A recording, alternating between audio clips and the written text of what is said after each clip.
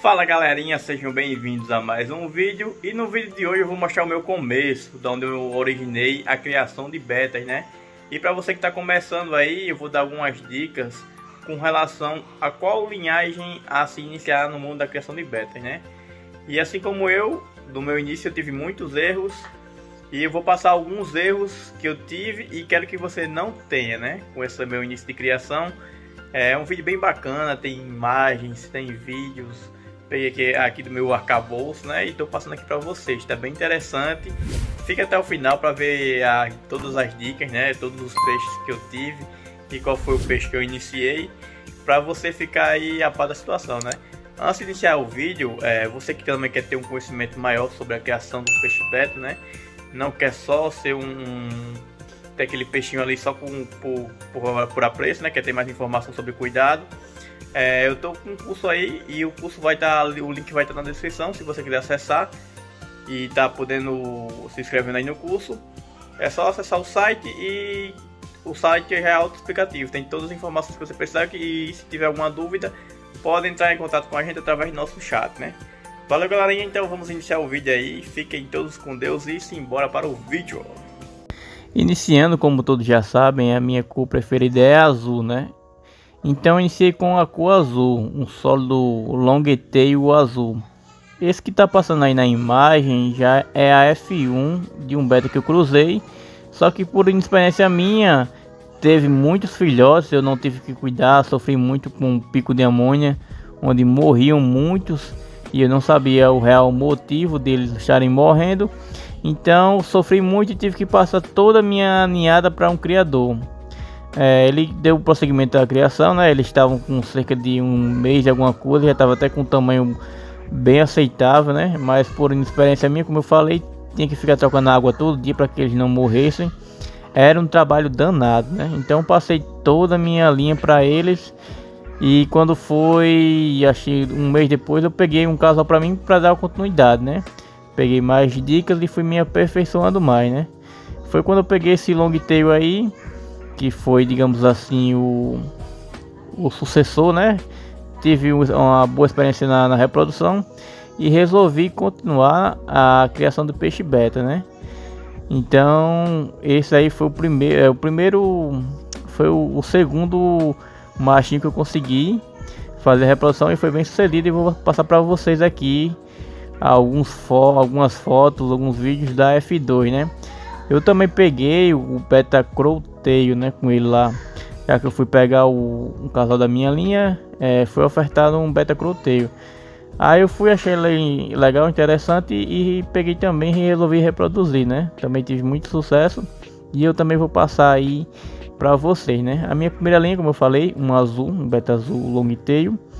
E a segunda foi os betas pro tail, Black Orchid e o Black Copper, né? Para ser mais preciso. Eu vou estar tá passando aí alguns vídeos para vocês estarem vendo melhor, né?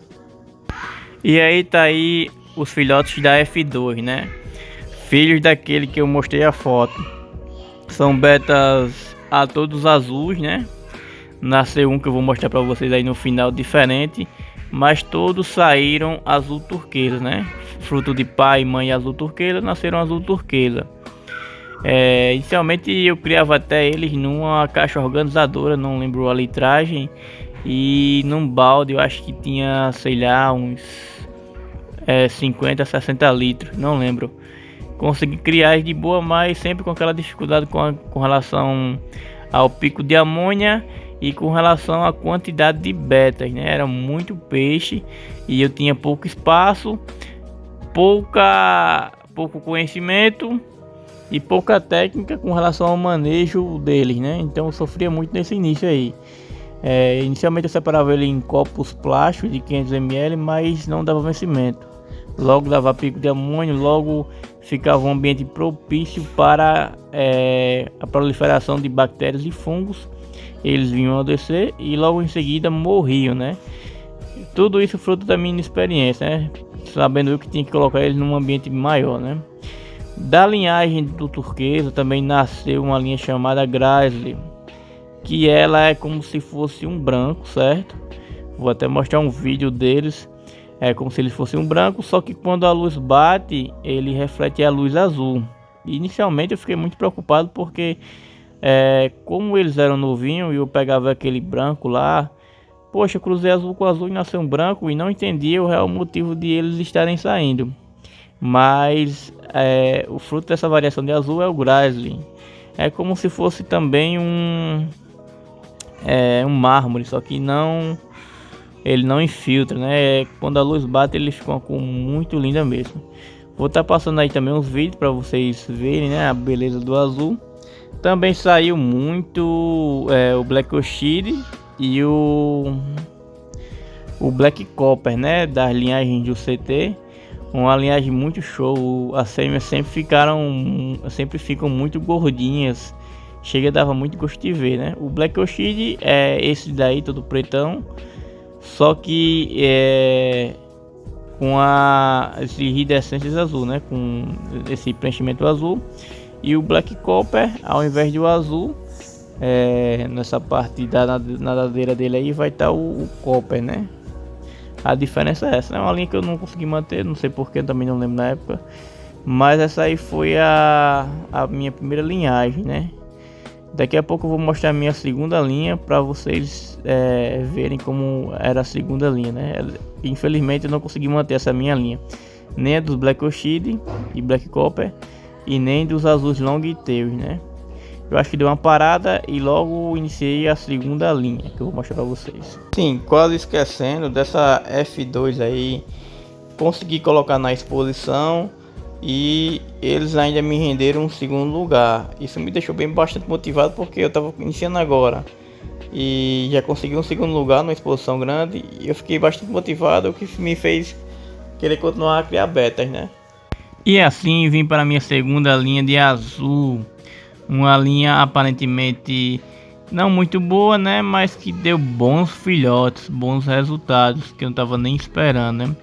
um betazinho turquesa, bem azulzinho, né? Como vocês podem ver o machinho aí, long tail também, né? Todo azulzinho e uma fêmeazinha também azul turquesa, meio ratada, mas aí pronta para reproduzir, né? Reprodu reproduzir tive bons frutos, que são esses aí que vão passar para vocês. Belos azul long tails, uns azul mais escuros e outros mais claros, né? Como vocês podem ver na imagem. Mas todos peixes muito lindos, lindos mesmo dorsalzinho jogada para frente, abertura over Ralph Mon, um turqueirazinho bem claro, o outro mais escuro. Coisa linda de, de, se viver mesmo, se não fosse o trabalho, né? E logo em seguida teve a minha terceira linha, que foi o placate, né? Esse azulzinho também bem padrão, coisa linda, né? Se você quer continuar a história, é, deixa o seu comentário aí que a gente continua a história, né? Valeu, galerinha, forte abraço, fiquem com Deus.